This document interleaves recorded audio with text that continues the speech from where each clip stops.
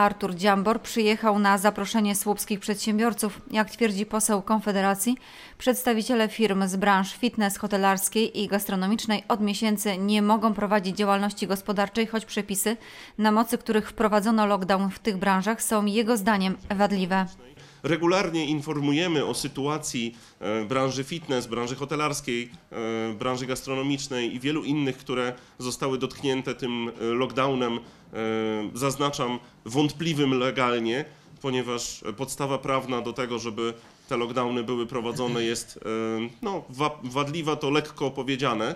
Jak informuje poseł, w drugiej połowie roku tarcze antykryzysowe mają być skontrolowane przez Najwyższą Izbę Kontroli.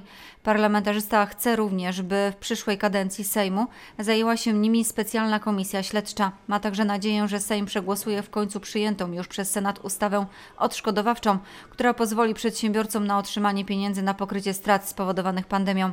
Spotkanie odbyło się w pubie Duo Cafe, który jako pierwszy w mieście wznowił w styczniu działalność, mimo wciąż obowiązujących rządowych obostrzeń.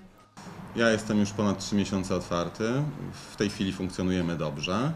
Odrabiamy pomału straty. Yy, Co prawda daleka droga do tego, no bo to, że ja teraz w tej chwili zarabiam, no to, to nie zmienia faktu, że cały ubiegły rok to były niewyobrażalne straty dla małego przedsiębiorcy. Ja szacuję je na blisko pół miliona.